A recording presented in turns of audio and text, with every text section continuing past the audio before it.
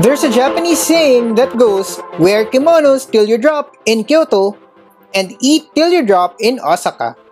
While Kyoto is all about heritage and tradition, Osaka is fast-paced and adventurous. Kyoto has its temples, shrines, and UNESCO World Heritage Sites, but Osaka has its cuisine, shopping districts, and amusement parks. This yin and yang complementary relationship suggests that these two cities are somehow designed to be enjoyed as one single destination. Japan in general is expensive, but for budget travelers, you'll be glad to know that not everything fun in these destinations should break the bank. In fact, several draws here are affordable to the average traveler. Some are even free. Hey there poor traveler, we are Vince and Josh. In this video, we're sharing with you some of the budget-friendly tourist sites that you can visit in Osaka and Kyoto. Before we begin, don't forget to subscribe to our channel and ring the bell to get notified when we upload new travel videos. Go temple hopping in Arashiyama. This iconic district in the western fringes of the city is a nationally designated historic site and place of scenic beauty. If it's your first time here and you have this strange feeling that some parts are familiar, don't freak out. You've probably seen it before in paintings or postcards, especially when the area is dressed in the fiery colors of fall. It's best known among tourists for its incredibly snap-worthy bamboo groves. Hi guys! So nandito na kami sa Arashiyama Bamboo Forest. So, or another, tatawag nila dito is Arashiyama Bamboo Grove. And ayun, kakatapos namin mag-cruise and nilakad lang namin hanggang dito. Mga, I think, a 10 minute walk. A walking and biking path cuts across a forest of towering bamboos that create a cooler, rustic atmosphere. Concealed in its deciduous forests and bamboo groves are temples that are worth a visit, including Horinji Temple, one of the five-head Shingon Buddhist temples in Kyoto, Tenryuji Temple, the best among the five great Zen temples of Kyoto, and the UNESCO World Heritage Site, and Nonomiya Shrine, a Shinto shrine founded around 800 CE. With the exception of Tenryuji Temple, which collects a 500 yen admission fee, access to Arashiyama's temples are free of charge. If you have a bigger budget, take a quiet boat ride down Oi River. Prepare your eyes to be treated to awesome views of the riverbanks. If your timing is right, you'll even see a paddling of ducks in the water. Boat rental costs 3,500 yen for the first two persons and 1,100 per additional passenger. Walk under thousands of torii gates at Fushimi Inari Shrine. Among the deities of the complex Shinto pantheon, probably the most revered is Inari, the patron of rice, tea, and merchants. One in every three shrines throughout Japan is devoted to Inari, and many business owners, even heads of large corporations, visit these shrines for blessing and guidance. Fushimi Inari Taisha, located in Kyoto, is Inari's principal shrine. Located at the foot of a mountain, Fushimi Inari Shrine is well known for two reasons. The thousands of vivid vermilion torii gates that cover the walkways leading up to the shrine precincts, and the dozens of stone foxes that guard these shrines. The fox statues known as kitsune serve as messengers of Inari and are frequently portrayed clutching an item significant to the deity, be it a jewel, a scroll, or rice. Those seeking Inari's blessing bring offerings to Kitsune in hopes of gaining their favor. If you feel adventurous, you can hike up the mountain to access the higher precincts and catch an impressive view of the city. These walkways span about 4 kilometers and can take a couple of hours to traverse. Fushimi Inari Taisha is free and easily accessible by train. The Inari station of the JR Nara line is located just outside the shrine entrance. Improve your fortune at Kiyomizu Dera. If for whatever reason you only have time to visit one Buddhist temple in Kyoto, Kiyomizu Dera or Pure Water Temple should be on top of your options. Founded by the Hosso Buddhist sect in the 8th century, the temple got its name from the clear waterways over which the temple premises were erected. Kiyomizu Dera's foremost attraction is its main hall, a favorite subject among Japanese painters, poets, and photographers. Housed within is a statue of the Kannon Bodhisattva, the Buddhist goddess of mercy. Overlooking a panoramic view of Kyoto is the main hall's sizable veranda, which is supported by a 13-meter high wooden pillars noted for not using a single nail during construction. Entrance to the main hall requires a 400 yen entrance fee, but access to the rest of the complex is free. Experience the Kyoto of yore in Higashiyama. Just outside Kiyomizu-dera is Higashiyama District, a quaint little village that would fit nicely in a Kurosawa period film.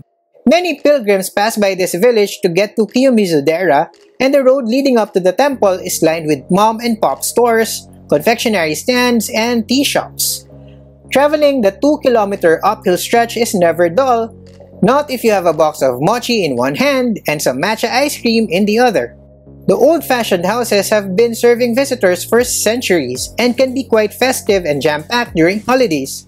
This is especially true during the Hanatoro Festival in March when the shops extend their service hours and the streets are illuminated by thousands of lanterns. Both Kiyomizu-dera and Higashiyama District are a little far off from the railway network, but you can still take a leisurely stroll if you plan on visiting Gion District anyway.